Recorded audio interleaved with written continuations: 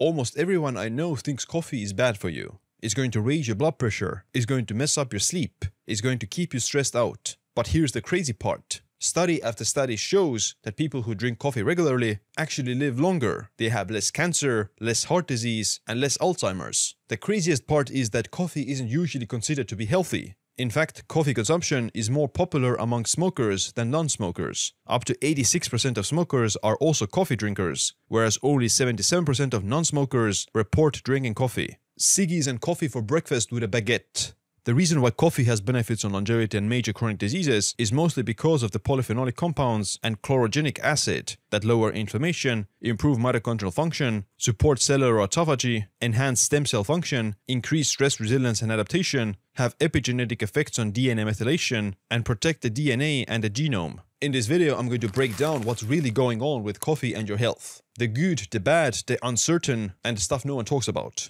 Timestamps below. Let's start with heart disease because coffee consumption is often associated with less heart disease. A 2024 massive umbrella review of 11 meta-analyses from 45,000 papers, totaling up to 12 million individuals, discovered that drinking up to 4 cups of coffee a day resulted in a 12% reduction in the risk of stroke. But heavy coffee drinking, over 4 to 5 cups a day, increased heart disease risk by 19%. Now, there aren't many randomized controlled trials on coffee consumption, but there are a few, so we can look at the effects of coffee on different aspects and different risk factors of heart disease. A 2000 randomized controlled trial saw that drinking 1 liter of paper filtered coffee for 4 weeks raised homocysteine from 8.1 micromoles per liter to 9.6, which is an increase of 1.5. Homocysteine levels above 10 are associated with increased risk of Alzheimer's and mortality, so it's not necessarily a good change. However, this effect was seen from consuming strong coffee in large amounts. The participants consumed 1100 milligrams of caffeine per day, which is about 3 to 4 times more than most people consume.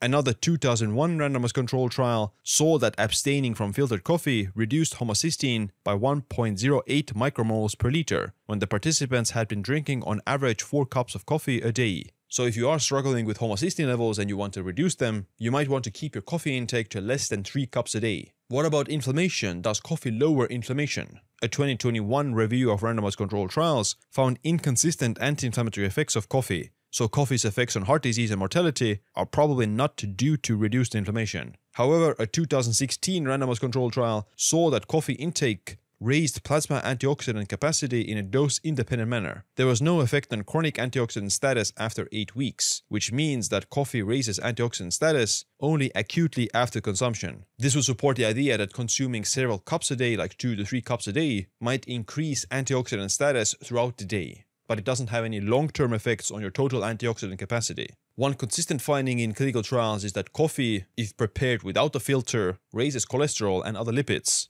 a 2020 meta-analysis of 12 randomized controlled trials discovered that over 3 cups of coffee a day seem to increase atherogenic lipids like LDL, total cholesterol, and triglycerides. So it's recommended to keep it below 3 cups a day if you're trying to manage your cholesterol. Coffee contains cholesterol-raising diterpenes like cafestol and kahweol, which can be removed by paper filters. If you want to manage your cholesterol and ApoB, then use paper-filtered coffee. However, these diterpenes like cafestol appear to have specific effects on visceral fat, which would explain the reduced risk of heart disease. A 2024 randomized controlled trial saw that 12 weeks of supplementing 6 mg of cafestol twice a day resulted in a 400 milliliter decrease in visceral fat and 1.8 kg weight loss compared to placebo. That's a very significant decrease that parallels a proper exercise and weight loss routine. However, the participants had quite a lot of visceral fat to begin with. The 400 milliliter decrease represented only a 5% decrease, which means they had up to 8 liters of visceral fat in the beginning.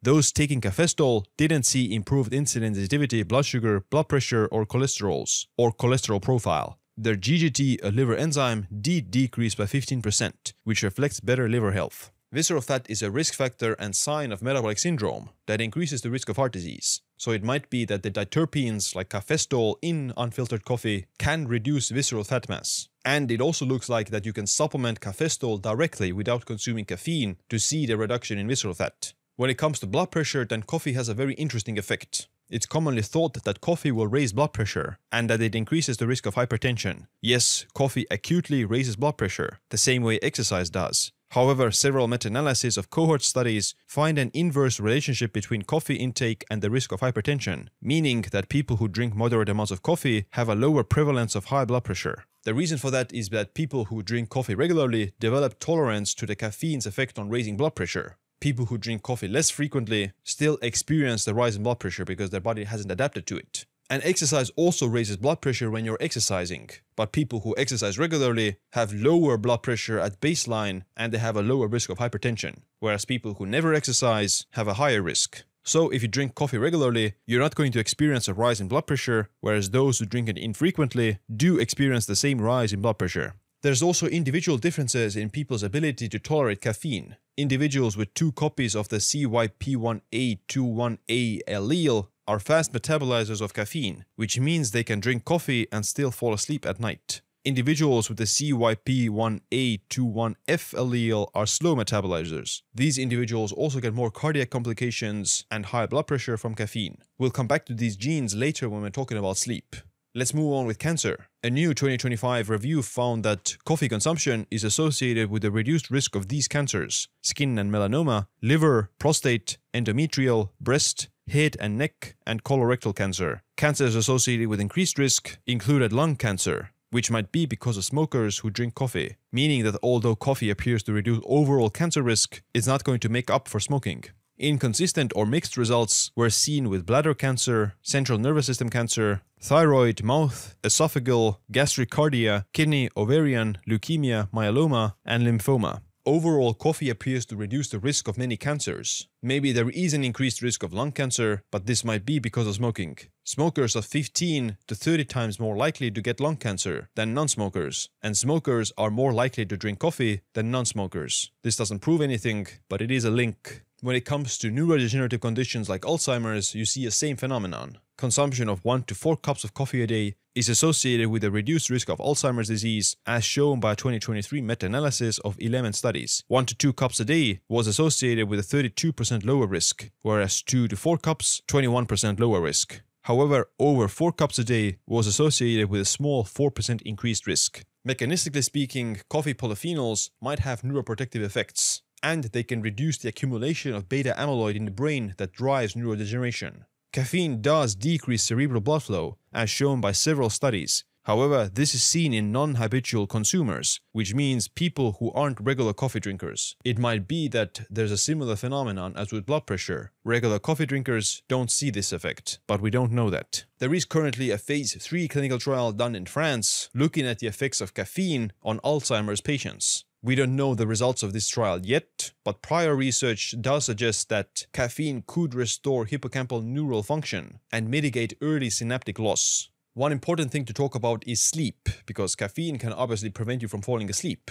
A 2023 meta-analysis found that caffeine consumption reduces total sleep time by 45 minutes and sleep efficiency by 7%. That's why it's recommended not to drink coffee any sooner than 9 hours before bed. One cup of coffee provides around 100 milligrams of caffeine, and a lot of energy drinks and pre-workout supplements might contain even up to 200 milligrams per serving. So in that case, you want to avoid these even up to 13 hours before bed. However, everyone responds differently to caffeine. As we mentioned earlier, there are genetics that influence your metabolism of caffeine and how fast you metabolize it. For example, I can drink coffee for dinner and still fall asleep fine without any problems. Other people, they need to stop consuming caffeine after breakfast to not have an effect on their sleep. People who are slow metabolizers also get other negative side effects, like jitters, anxiety, and high blood pressure. If you are a slow metabolizer and want some of the benefits of coffee, then you could use cafestol or chlorogenic acid supplements, because these are responsible for some of the health benefits. If there were to be a takeaway from this video, then it would be that moderate coffee consumption doesn't appear to have any serious negative effects on your health and it appears to have minor health benefits, especially for heart disease and cancer. A large 2017 umbrella review of over 200 meta-analyses, including hundreds of studies, concluded that the most benefits for health outcomes are seen at 3 to 4 cups of coffee a day, and that amount is more likely to be beneficial than harmful. Now, you don't have to start drinking coffee if you don't like it. You can also get some of these polyphenolic compounds from different vegetables, olive oil, nuts and seeds, tea, green tea, and some fruits and berries. But if you like coffee, then consumption of around 3 to 4 cups a day seems to be the sweet spot. Excessive caffeine consumption, excessive coffee consumption, over 4 cups a day might be harmful. If you want to know about the components of a healthy lifestyle that can help to extend your life, then check out my evidence based longevity routine video next.